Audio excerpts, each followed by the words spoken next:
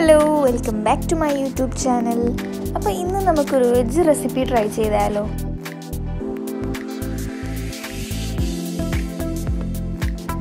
ഇന്നത്തെ സ്പെഷ്യൽ ദാൽ കിച്ചടിയാണ്. അതെങ്ങനെയാണ് തയ്യാറാക്കുന്നതെന്ന് നമുക്ക് നോക്കാം.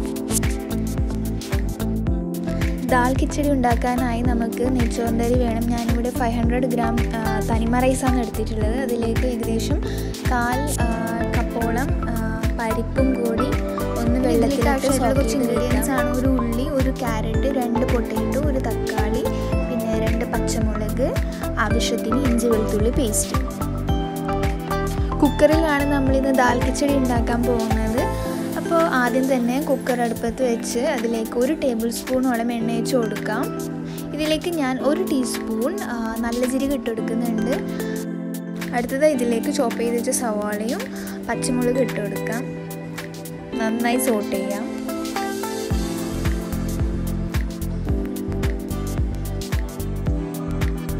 സവാള ഒന്ന് വെന്ത് വരുമ്പോൾ നമുക്കിതിലേക്ക് തക്കാളി ഇട്ട് കൊടുക്കാം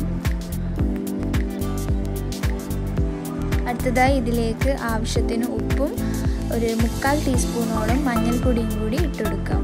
ഇനി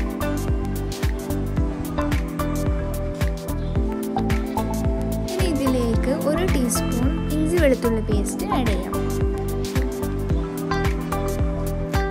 നന്നായി ഇളക്കി കൊടുക്കുക. ഇതിലെ പച്ചമണം മാറി കിട്ടുന്ന വരെ ഒന്ന് മിക്സ് ചെയ്ത് കൊടുക്കുക. അടുത്തതായി ഇതിലേക്ക് നമുക്ക് ക്യാരറ്റും പൊട്ടാറ്റോ ഇട്ട് കൊടുക്കുക. നിങ്ങളുടെ കയ്യിലുള്ള ഏത് വെജിറ്റബിൾ വേണമെങ്കിലും ഇട്ട് കൊടുക്കുക. ഞാനിവിടെ പൊട്ടാറ്റോയും ക്യാരറ്റും മാത്രമാണ് ഇട്ട് കൊടുക്കുന്നത്. ഇനി ഇതിലേക്ക് നമുക്ക് ഒരു ടീസ്പൂൺ മുളക് പൊടിയും ഒരു ടീസ്പൂൺ മല്ലിപ്പൊടിയും ഇട്ട് കൊടുക്കുക.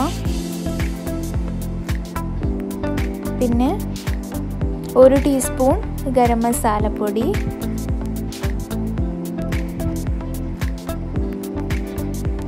അതുപോലെ തന്നെ ഒരു അര ടീസ്പൂണോളം നല്ല ജീരകപ്പൊടി ഇട്ട് കൊടുക്കാം.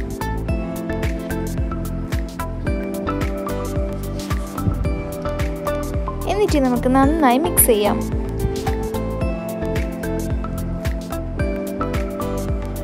ഇതിന്റെ പച്ചമണം ഒന്ന് കിട്ടുന്ന വരെ മിക്സ് ചെയ്യാം. ഇനി ഇതിലേക്ക് നമുക്ക് സോക്ക് ചെയ്ത് വെച്ച തനിമ റൈസും പരിപ്പും എല്ലാം ഒന്നിച്ചിട്ട് മിക്സ് ചെയ്ത് കൊടുക്കാം.